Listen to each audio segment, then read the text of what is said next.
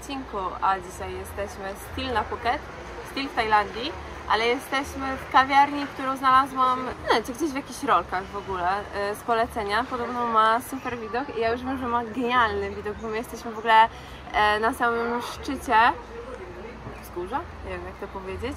Dobra, i chodźcie, obczaimy jak to wygląda. Będzie fajnie w tej kawiarni. Jakby co, to zostawię nazwę na dole, jak ktoś będzie na Phuket w Tajlandii, można sobie wpatrzeć, będzie kilka. Ale wiemy, że Kamila zapomina. A nie, ty, a to nie jak mówię, że coś zostawię? Tak, tak, kochanie, tak, Nie, tak. naprawdę, Patrzcie ostatnio ludzie. jak mówię, Nie musicie czekać. Od 9 do 19 niedziele zamknięte. O kurde, tak. No, ciekawie to wygląda. Słuchajcie, jest tu tyle ludzi, jest to zdecydowanie popularny spot. Nie dziwię się czemu, ale musimy cisnąć, żeby zająć jakieś miejsce ładne z widokiem, bo powiem Wam, że influencerek to jest chuj. I wszyscy są tutaj, e, żeby wywalczyć sobie ten taki ładny widok, który jest przecudowny. Jezu, czy wyobrażacie sobie kawiarnię z takim widokiem? Nie no, mocno tu jest. Zaraz Wam powiem też... Oh, sorry, can I just go there? Thank you. E, e, Zaraz Wam też powiem o cenach, ale spróbujemy sobie gdzieś siąść. O, Konrad znalazł miejsce. To jest dobre miejsce.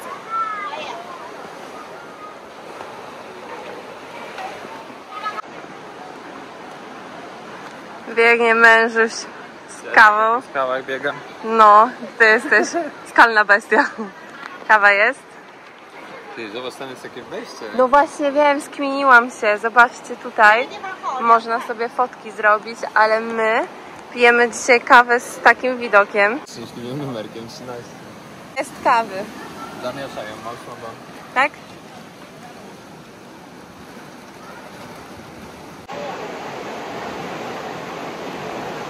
Dobra jest. Nie? Jest, ale... Nie ma... Nie ma... To jest taka... Wiem co tu jest. Lekko skondensowane. Mleko te słodziutkie jest, no.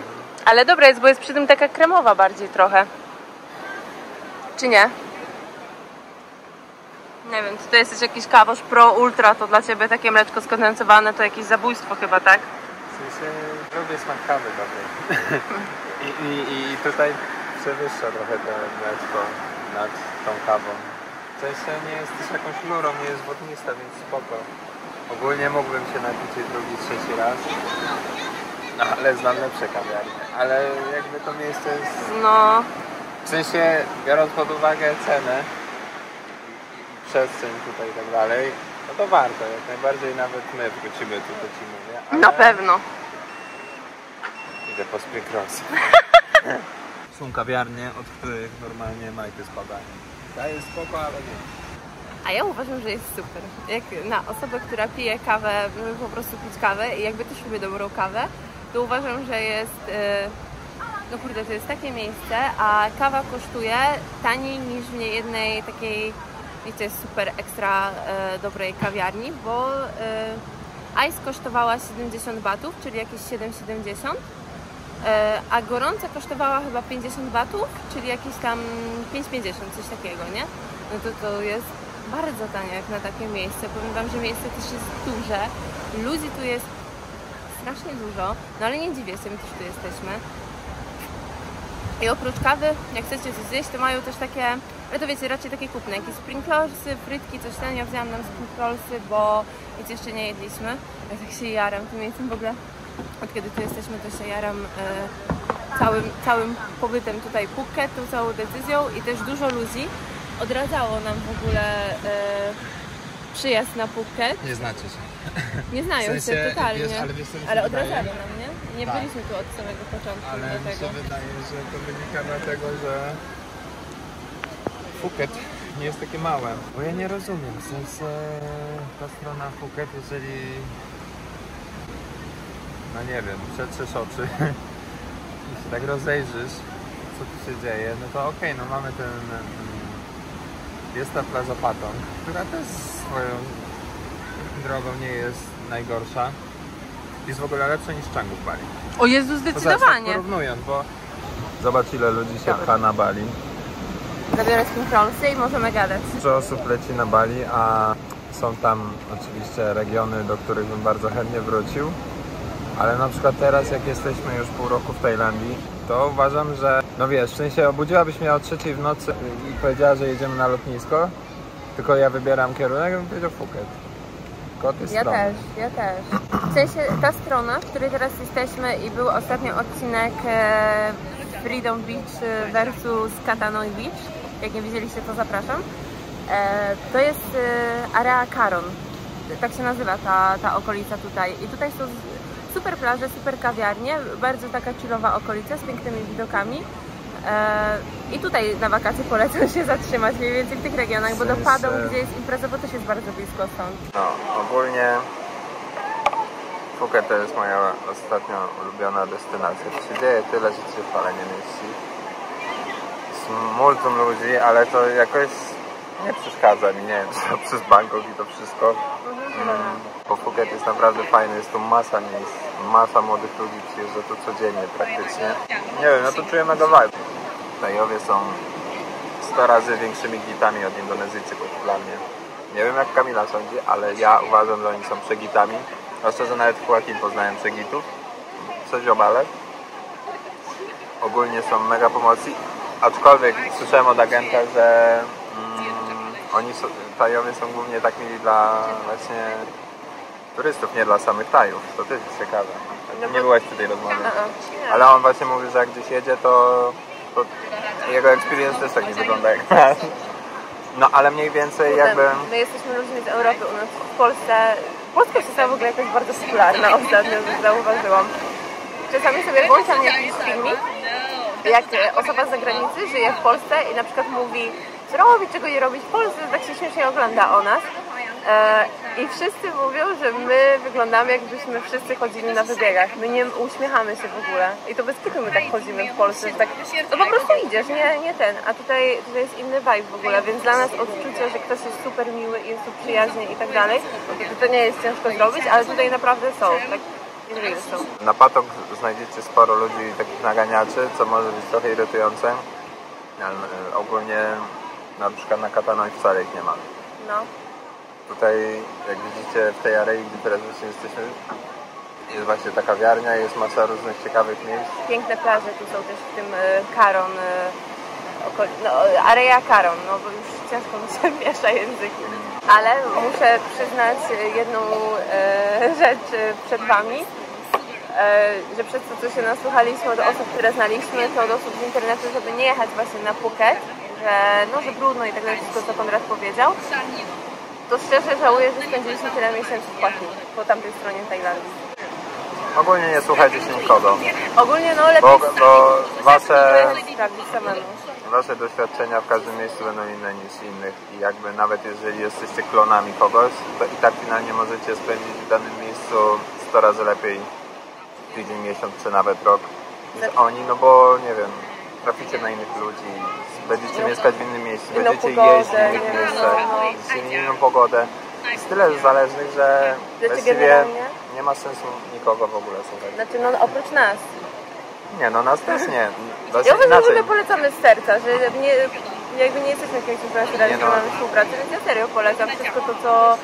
Ja jestem krytyczna wobec miejsc, na przykład jedzenia czy czegoś i ja to tak, jak coś polecam, to uważam, że serio warto. No tak, ale ja tylko mówię, że warto brać na poprawkę to, że ich doświadczenie z danym miejscem i tak będzie inne. Nie można oczekiwać, że ktoś powiedział, że będzie gdzieś zajebiście, no to też będzie dla nas zajebiście. To tak nie działa. No i, i tym sposobem jesteśmy na dopiero teraz na Phuket, gdzie moglibyśmy się zabrać tutaj wiele wcześniej, ale to nie jest ważne, że tu jesteśmy. Ważne, że nam jeszcze, no tak jak ktoś przyjeżdża na dwa tygodnie na wakacje, no to nam zostało jeszcze 4 miesiące, no to ludzie. To jest e, bardzo dużo czasu. Także e, mega polecamy Phuket, mega polecamy Tajlandię. Chcemy jeszcze e, zobaczyć, bo wyczailiśmy taką miejscóweczkę do zdjęć fajną. Tutaj też w tej kawiarni, jakby co, jeszcze z tym nie myśleliśmy. E, idziemy zobaczyć, jak się tam dostać. Zrobić kilka fotek I lecimy dalej z nim. Patrzcie, jak fajnie. Tu są schodki. A tu, o w tą stronę jest ta miejscóweczka. I tu z tej miejscóweczki dokładnie chodzi nam o ten punkt. O, tutaj mi akurat palma zasłaniana, ale piękne kadry tu są. Tylko o, chciałam powiedzieć, że oczywiście ty mi się zagubiłeś, ale jesteś akurat idealnie. Ślicznie tam jest. Czekamy cierpliwie w kolejce, w kolejce, w kolejce do miejscówki.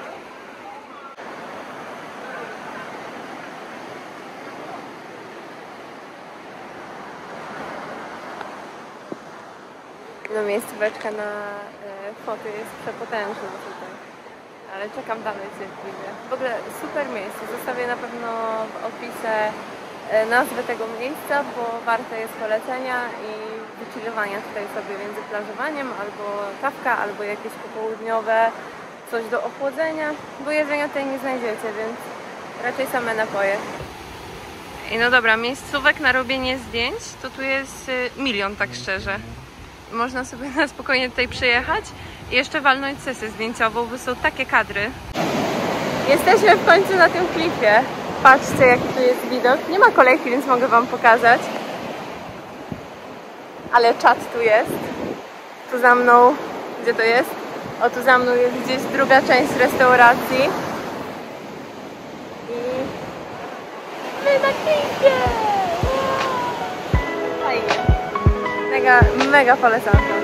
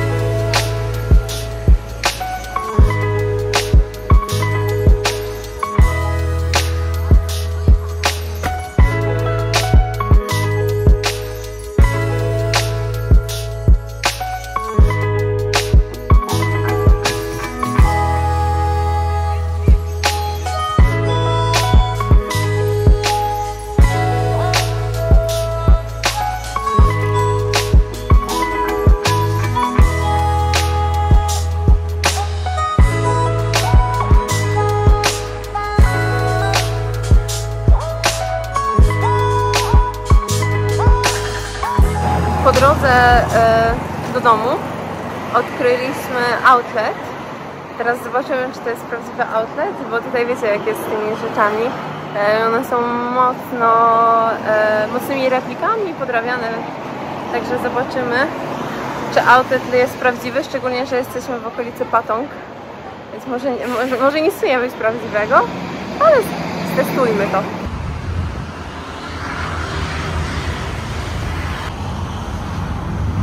Macie proszę bardzo. Głównie są męskie z tego co widzę, a co się rzadko zdarza, e, żeby aż tyle było męskich, więc obstawiam, że... Dobra, ale zobaczmy na przykład Champion. Tu ametka wewnętrzna.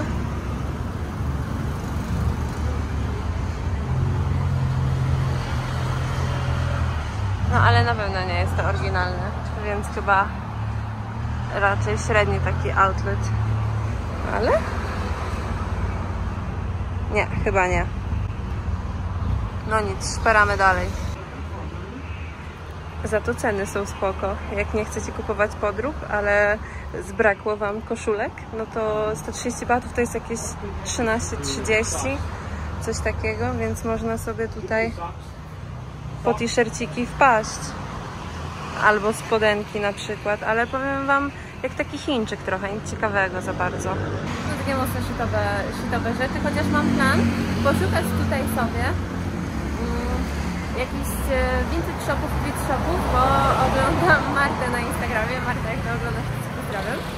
E, I ona takie perełki, e, w Australii co prawda, ale takie perełki znajduje w tych sklepach, że za każdym razem jak oglądam jej Instastory, to od razu zaczynam szukać e, vintage shopów, żeby, żeby pójść po prostu i też sobie poszperać. jak kiedyś odwiedzimy Australię, to na pewno się jej wypytam, gdzie warto pójść. Za to zobaczcie, jakiś e, randomowy e, masaż i ceny, na przykład 200 za godzinę za stopy, z olejkiem z 200, tutaj już takie jakieś Ej, Kamila, pokaż 1200 to najdroższy. panom. Patrz, jest Dalej? oznaczenie no sex. Gdzie? Nie jest to na masaż. O, to jest dobre oznaczenie, no. Tu, tutaj nie znajdziecie dzikich usług, ale ceny naprawdę w Huachin, y, mówiłam do Konrada przed że w Huachin płaciliśmy więcej niż tutaj są na przykład ceny za masaż. Co prawda o 5 zł więcej, ale dalej to jest więcej. Bo tutaj 200 zł, y, dwie- 200 batów, czyli jakieś 22 zł za y, godzinę masażu, a my płaciliśmy 250 za godzinę masażu, to i tak uważam, że to jest śmieszna cena. Właśnie zostaliśmy złapani, ale spokojnie pokazujemy tylko, że mamy prawko i o, no właśnie, już jak widzicie z tyłu za mną po akcji. Także proszę mieć prawka międzynarodowe, bo łapią i to już nas drugi raz kiedy złapali, także proszę ogarniać sobie prawka międzynarodowe, żeby tu jeździć. Siemanko, witam Was. W sumie to w następnym dniu jak widzicie jesteśmy u nas na osiedlu na basenie e, i zaraz sobie tam pójdziemy chillować. Uwierzycie, że wstaliśmy z rana, takie o 8, dobra ja o 8.30 i ma, jest godzina 11, a my mamy tak. Porobione to co trzeba było zrobić, ba, mało tego. Posprzątana chata. Zrobiłam pranie, posprzątałam, jest 11, a my jesteśmy zwarci i gotowi na basen. Te- Teraz idziemy na, idziemy na basen, bo później jeszcze po południu mamy kilka rzeczy do zrobienia w domu, E, ale wieczorem jedziemy na padong i pokażę Wam jak wygląda impreza, bo dzisiaj jest piątek. Co? Tak. Jakie te? Nie padok. Padok. Padong. Ej, mam tak... No, dobra, no mogę mówić coś źle, proszę nie zwracać na to uwagi. Chodzi o padong. G, G na końcu. G na Czyli końcu. dzisiaj mówimy Kamila. Proszę nie zwracać na to uwagi. No, e, także pokażę Wam, jak wygląda tam melanż e, w piątek. Dobra, idziemy po mleko do Seven, jak do żabki. E, bo byliśmy teraz na basenie i widziałam sobie pani siedziała z kubeczkiem kawki domowej i często pijemy po kawiarniach, bo jest tania kawa, my nie mamy ekspresu w domu, ale kupiliśmy ostatnio taką mieloną, dobrą jakąś i te filterki. Właśnie jeszcze brakuje mi mleka. E, No, i ja nie piłam jeszcze dzisiaj kawy, miałam w ogóle nie pić, ale zachęciła mnie, że lecimy. Może jeszcze będzie pan z owocami, często stoi z takimi e, pokrojonymi i świeżymi. My też się jeszcze nie wybraliśmy na bazar e, po takie, wiecie, nasze, więc może mi się uda jeszcze owoce. Po drodze byłoby najlepiej. Patrzcie ile skuterów, ale nie trafiłam niestety na owocki, więc e, obejdzie się bez owoców. Idziemy tylko do Seven, który jest dosłownie e, pod osiedlem, więc daleko nie muszę chodzić. Gdybyście się zastanawiali, ile kosztuje Seven, czyli takie ala żabce mleko bez laktozy, to 36 batów, jakieś 4 zł. Ale nie jest największe. To jest chyba... nie wiem ile to jest. Zagadka zostanie nierozwiązana. Jest 450. Jak rozwiązaliśmy. W ogóle bardzo mi się podoba Phuket, e, bo jest mnóstwo wzgórz. Jest takie bardzo zazielenione. Gdzie nie jedziemy, to są jakieś wzgórza, e, większe, mniejsze. No tak to super wygląda z tą roślinnością stąd. Zobaczcie, zamówiłam e, zakupy do domu, tak zawsze. Ale tutaj była taka opcja, że można sobie zamówić po prostu takiego bazarku. I czaiście, że wszystko przyszło tak świeże. Zapłaciłam z trzy dychy w ogóle za tą reklamówkę. Ona jest tak ogromna. No jest ananas, jakieś pomidory, mnóstwo ziół, szczypiorki, nie szczypiorki, no cała reklamowa, że idziemy gotować.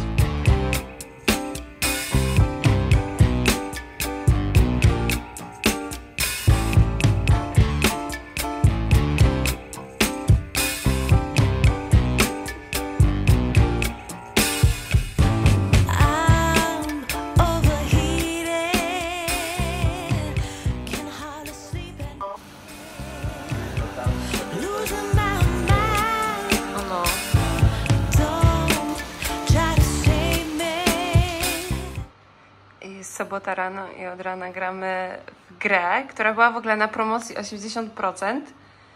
90. 90, nie tam, ona 17-18 zł kosztowała. King, 16, 16 coś. tak? Kingdom, Kingdom Come, ale wyjebana gra. W sensie jest... Tak rozwinięta. No. I Wczoraj nam się nie udało przyjechać e, na Padong, bo padało, ale Patong, ja cały czas źle mówię. E, Ale dzisiaj jesteśmy na Karon i nie wiem, czy to jest tak zawsze, czy dlatego teraz, że jest weekend, bo ja wcześniej nie zauważyłam tego. E, Ale jest super, bo Który dzisiaj jest? mm, nie wiem, z 20. No to masz... serce, A. O, będą zawody w surfie. Ciekawe, czy już były, czy jeszcze No na będą. pewno to jest pewno No, no, no, no. Ej, to idziemy. Czy tak jest tu zawsze? no chyba nie jest. Czekaj, a są godziny od, aha, że od 10 rano do 8. No dobra. Ej, fajne są hot dogi, coś słodkiego. Tam wcześniej widziałam koktajle, a tutaj zobaczcie, tutaj już jest plaża. My przyjechaliśmy na plażę, a ja nie wiedziałam, co nas tu czeka w ogóle. Fajnie. Tajlandia, cała Tajlandia. No. Stąd. O, wata cukrowa. Przejdę się z wami, żebyście wszyscy zobaczyli, co tu jest. A jest tu wszystko. Sushi, zobacz, jedna, sushi? jeden e, kawałek, no sushi 10. Chicha, temba, temba, temba. O, okej, okay, thank you. No to ja nie wiem, czy ja bym chciała. Chyba, że jest go z surowej ryby, to wtedy spoko. O, są e, ostrygi. I'm sure you'll be amazed with Thailand with different... Masz głęboko smażone lody. Oh, I'm glad glad to hear that. And so maybe after this trip you can. Ale go to kawą mi. And before you go to Majan, you go to Long Song Cafe. Alright, so I would like you to super, że invite to tu the na chwilę. live broadcast camera is somewhere around here to broadcast. Super, że to tu jest, bo jak będziemy głodni, to będziemy mogli sobie e, przyjść i coś zjeść, bo na razie jesteśmy świeżo po śniadaniu, ale wszędzie mi pachnie kawą, może kawę. I zobaczcie, jesteśmy już zaraz jest dzisiaj pochmurnie, ale to nic i tak jest super. Zarąbista jest ta plaża. Konrad kupił tutaj z grilla coś. Dobre? Dobra, nie będę cię nagrywać jak żeby cię nie męczyć.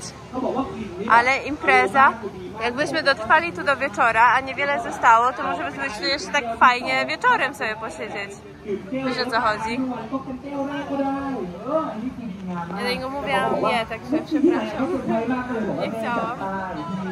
O, jest biżuteria. จะต้องไปเที่ยวแล้วก็ไปชิม Zarąbiste tu jest, ale ja mam ochotę iść kupić sobie ewentualnie coś และ do นี่ก็ picia จะเป็น i ในส่วน pójść ของ na การดริฟ plażę. กาแฟกิจกรรมการดริฟกาแฟในวันนี้กับ X Community ซึ่งประกอบไปด้วย O 20 wieczorem masz. อ่า Coffee Art Music และ Surf โอ้ทำสู่อุบรานเนี่ย อ่าอยากจะบอกอะไรกับ Ale ja ทุกท่านที่ potrzebuję. มาเที่ยวงานนี้ Wiesz บ้างค może? รับ Że tłuszczu?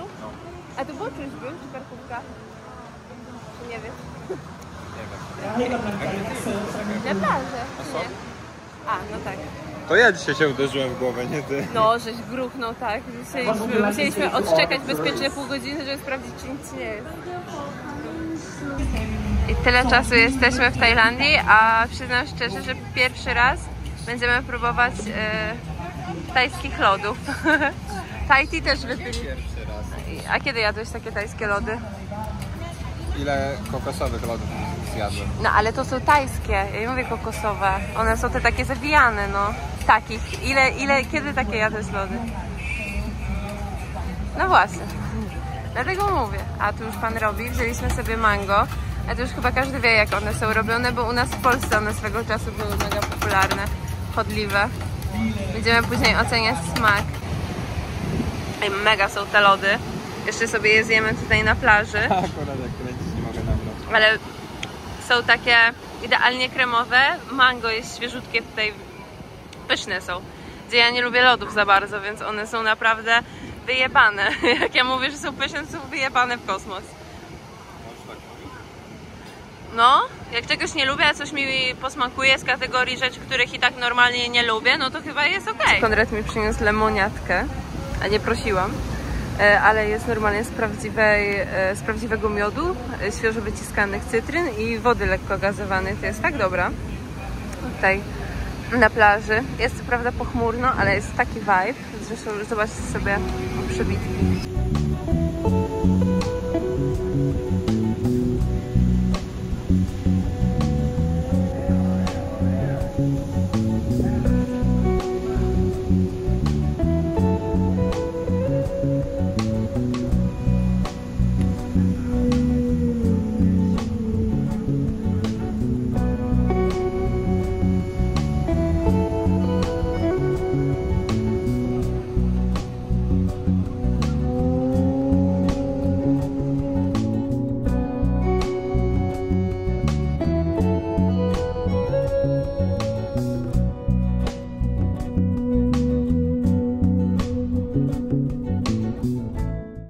Przyjechaliśmy na Katanoi, czyli jakby dwie plaże dalej.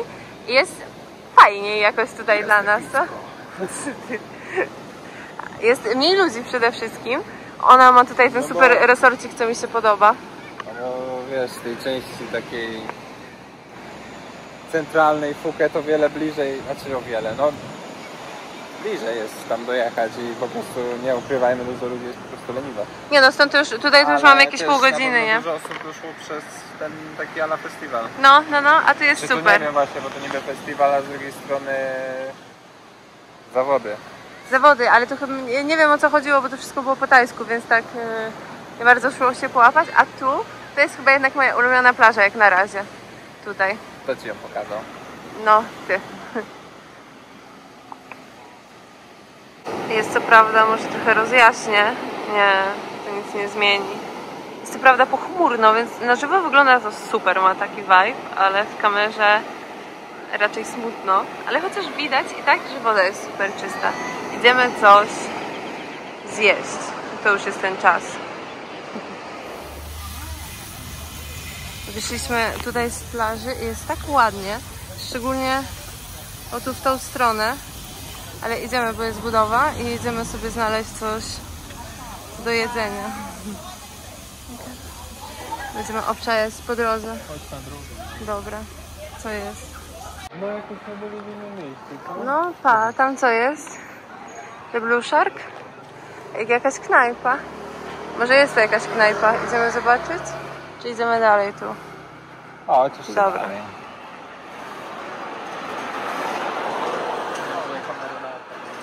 Mhm. Ale jest vibe. Ale w porównaniu do reszty okolicy to, to jest mega spokojnie, co? No nawet widać to na drogach. No, widać, że już jesteśmy takim... Na końcu najlepsze plaże są zawsze, ale okolica taka bardzo spokojna. A chcieliśmy zjeść tutaj, oj, przepraszam, e, bo ma bardzo dobre opinie i fajnie było w środku, ale jest zamknięte. W ogóle jest jakaś sobota, a tu jest pusto po tej stronie, ale nam to nie przeszkadza. Tak, knajpa też ma dobre opinie, więc idziemy zobaczyć. I zamówiliśmy Konrad jak zwykle bezpiecznie, fried rice w nowych miejscach. A ja wzięłam sobie wołowinkę z ananasem. Zobaczcie. Mam serduszko na ryżu. To jest cute. W ogóle bardzo fajna jest ta knajpa. Z tą wołowinką będziesz musiał mi pomóc. Mam cały taki, wiesz, talerz. Dlatego mówiłam, żebyśmy wzięli dwa różne takie i ryżyk. Ale bezpieczeństwo. mega dobre, polecam.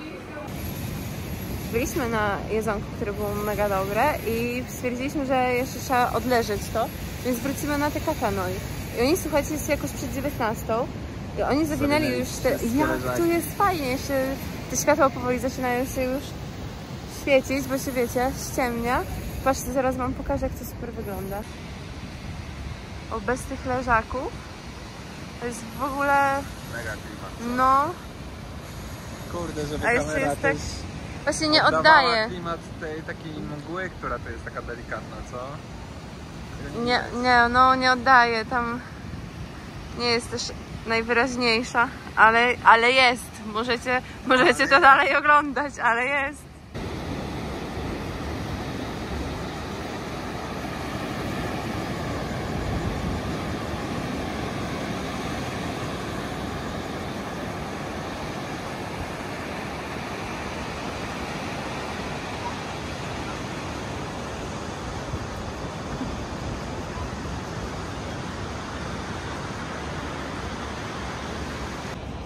A, go nie Ty, mam go, widać go. O Jezu, ale spierdzie... No teraz to już go nie znajdę. Teraz tu. Gdzie jest? O, widziałam, widziałam. Nie no. Przepotężnie tu jest.